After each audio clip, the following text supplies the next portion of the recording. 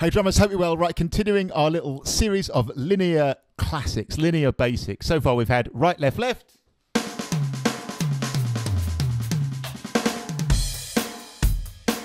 And some basic ideas for getting going with that. We've had right, right, left.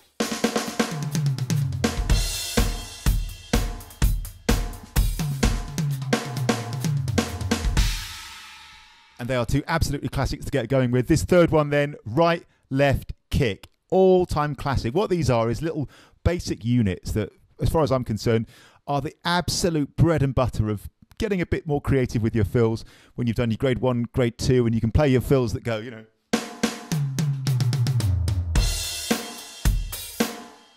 And you're just ready for that next step of getting into the world of you know linear drumming, so called, where the notes you play are in a line uh, and it just has that lovely flow to it. You know, when you start hear, hearing drummers play.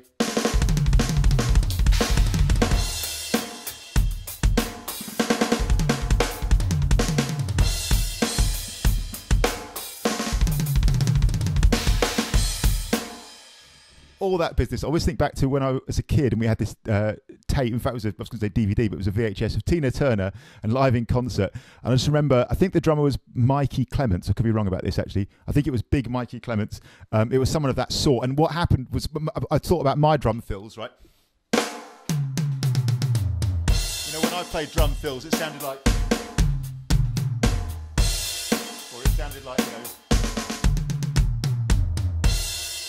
And just to be clear, there's nothing wrong with those drum fills. In fact, they may well be the perfect drum fills for the music. But in the big moments in the Tina Turner song, as my, Mikey Clements was going.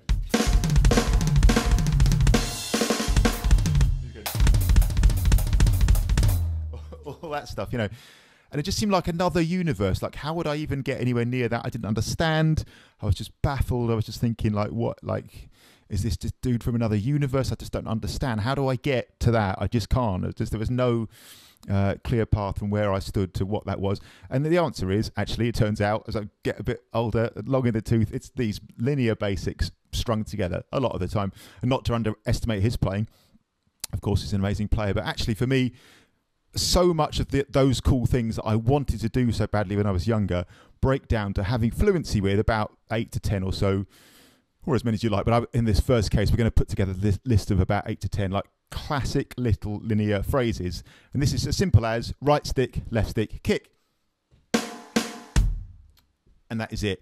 People say, well, I can't get it that fast. So I think this is something people, in my experience, have it seems to me, and I don't mean any disrespect to anybody, wildly confused about. You have to do it over and over again. You know, when you get home, right, and you open a beer and you sit in front of the TV, what I'm doing, or well, I don't know, drummers who get this going way more fluently than me even, are going to their drum kit and they're doing it, right? Even if they are sitting away from the kit, they're still working on it. You have to have these little programs. For me, these sort of, again, eight to 10 little units, you've got, you have them running over and over and over again every day regularly. If you want to be good at this thing, you're going to have to bring some something to the table, man. Bring some effort to it. Because over and over again, I just hear people saying, "Oh man, I just I can never go that fast." Well, you've got to build it. I think people are wildly confused. People think just they just turn up and expect to play. You know, so I don't want to get into a whole debate about entitlement. But for me, anyway, in my experience, I had to craft these honestly over over years, and I'm still only scratching the surface as far as I'm concerned. Still building it up.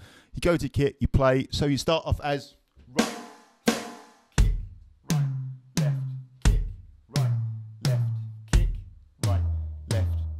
Great. That's a great start. The next day you go.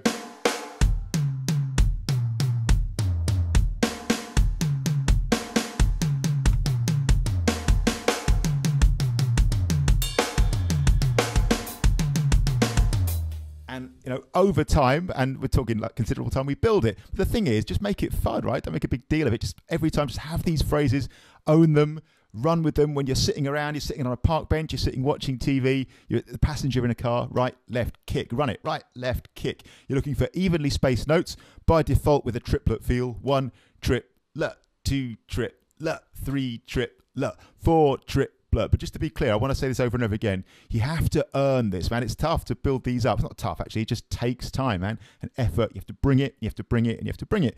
And it's actually not tough. It's not hard. You just have to be consistent. You have to keep building and building and building.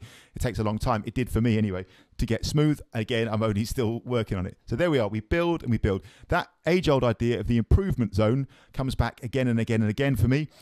We want to be relaxed. We want to be loose. We're going to start slow As you know, one of my favourite ways to build up anything is to start slow and work up to the improvement zone. That is the speed where you can just about do it, but it's a bit of a challenge. Hold it there.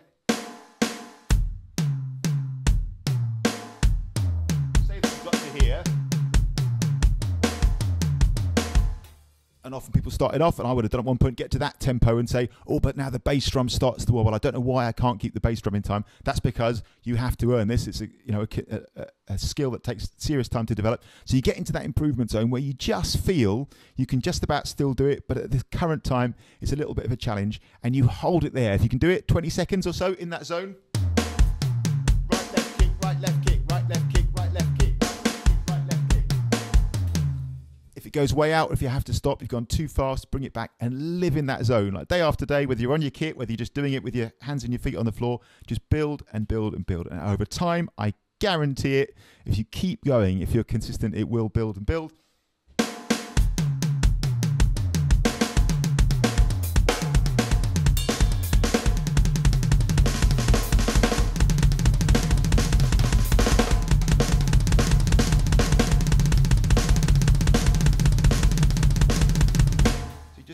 To get to that point where you can just you can let it flow, man. Again, I'm just like like everyone else, still working on it, but that's the thing. Just getting to that point where you can get it to a usable tempo will take some time, man. But that's cool. A couple of suggested ways of doing it. In the end, you can do all sorts with this and string it together with the ones we've learned and with the others that will come later as well. A couple of basic ideas to get started. Number one, play 16th notes: one E and a, two E and a, three E and a, four E and a. One of my favourites here is to go. So go right, left, kick four times and finish with right, left, right, left on the snare drum. One, two, and a, three, E and a.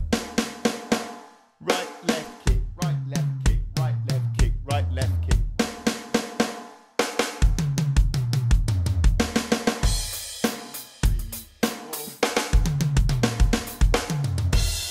Of course, then orchestrate it around the kit.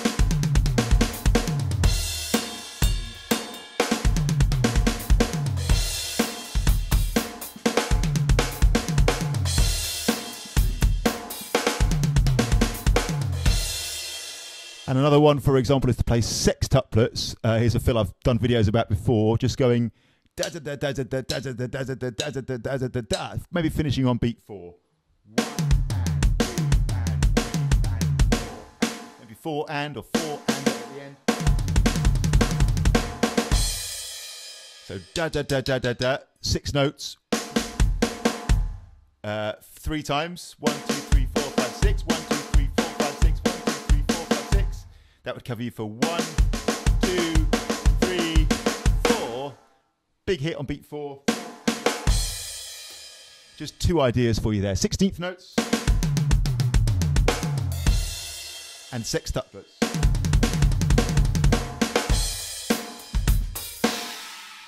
Absolutely classic phrase. Right, left, kick. Of course, they're just examples. You can string it uh, together with the others, do anything you like with it. Just a basic little unit. Uh, how many times have we seen that all through the history of great rock, pop, funk drumming? Beautiful little phrase. Uh, so I hope that's useful. Just get started with that. Right, left, kick, run it and run it and run it. Thanks for watching as always. Really appreciate it. Uh, please like, share, and subscribe.